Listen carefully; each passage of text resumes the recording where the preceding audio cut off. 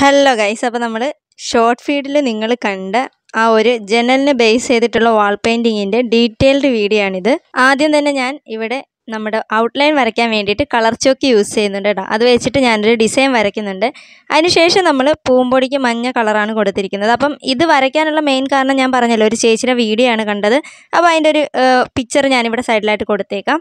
അതിനുശേഷം നമ്മൾ ആ ചേച്ചി യൂസ് ചെയ്തിരിക്കുന്നത് ഒരു മജന്ത കളറാണ് നമ്മളിവിടെ എടുത്തിരിക്കുന്നത് ഒരു പിങ്ക് ആണ് കേട്ടോ.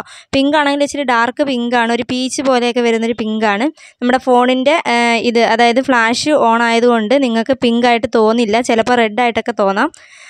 അത് ഈ ഫ്ലാഷിന്റെ പ്രശ്നമാണ്. അതേപോലെ തന്നെ ആ ഒരു പിങ്കിൽ നമ്മൾ കുറച്ച് വൈറ്റ് കളറും കൂടി ചേർത്തിട്ട് ഈ ഒരു ലൈറ്റ് കളറും കൂടെ യൂസ് ചെയ്തിട്ട് കുറച്ച് ഫ്ലവേഴ്സും കൂടി വരയ്ക്കുന്നുണ്ട്.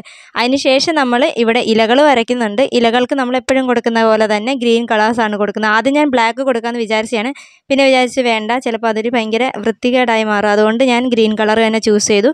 അപ്പോൾ light and dark green blend ചെയ്തിട്ടാണ് ഞാൻ ഈ ഒരു കളർ എടുത്തിരിക്കുന്നത്. അതിനുശേഷം നമ്മൾ ആ ഒരു ഇടയിലെ വൈറ്റ് സ്പേസ് ഒക്കെ ഒന്ന് അതായത് റിമൂവ് ചെയ്യാൻ വേണ്ടിയിട്ട് നമ്മളിവിടെ ലൈറ്റ് ഗ്രീൻ മാത്രം ഒന്ന് കുറച്ച് വെള്ളത്തിന്റെ അംശം ഇച്ചിരി കൂട്ടിയിട്ട് നമ്മൾ കുറച്ചൊന്ന് സ്പ്രെഡ് ചെയ്ത് കൊടുക്കുന്നുണ്ട്. അതിനുശേഷം നമ്മൾ ഫ്ലവേഴ്സിന്റെ ഔട്ട്ലൈൻ ഒന്ന് ക്ലിയർ ചെയ്യാൻ വേണ്ടിയിട്ട് magenta colour original magenta colour എടുത്തിട്ട് നമ്മൾ ഔട്ട്ലൈൻ എല്ലാം ഒന്ന് കളർ ചെയ്ത് കൊടുക്കുന്നുണ്ട്. പിന്നെ ഞാൻ ഇലകൾക്ക് ഔട്ട്ലൈൻ വരയ്ക്കാനായിട്ട് ഡാർക്ക് ഗ്രീനാണ് ആദ്യം ചൂസ് ചെയ്തത്. പക്ഷേ അത് വെച്ചിട്ട് വരച്ചിട്ട് ഒരു ഭംഗിയില്ല കാണാൻ. അതായത് എടുത്തറിയുന്നില്ല.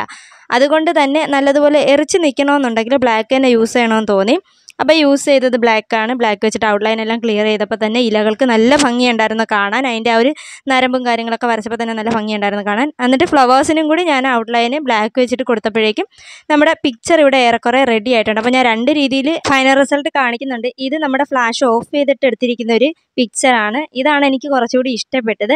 രണ്ടാമത്തത് നമ്മുടെ ഫ്ലാഷ് ഓൺ ആക്കിയിട്ട് എടുത്തപ്പോൾ ഒരു യെല്ലോ കളർ കയറി വരുന്നുണ്ട്. അത് നിങ്ങൾക്ക് കാണുമ്പോൾ മനസ്സിലാവും. എന്തായാലും ഫൈനൽ റിസൾട്ട് കണ്ടിട്ട് ഇഷ്ടപ്പെട്ടിട്ടുണ്ടെങ്കിൽ കമന്റിലൂടെ അറിയിക്കുക. അപ്പോൾ വീഡിയോ ഇഷ്ടപ്പെട്ടാൽ ലൈക്ക് ചെയ്യുക ഷെയർ ചെയ്യുക സബ്സ്ക്രൈബ് ചെയ്ത് സപ്പോർട്ട് ചെയ്യാം നെക്സ്റ്റ് വീഡിയോയിൽ കാണും വരെ. ടാറ്റാ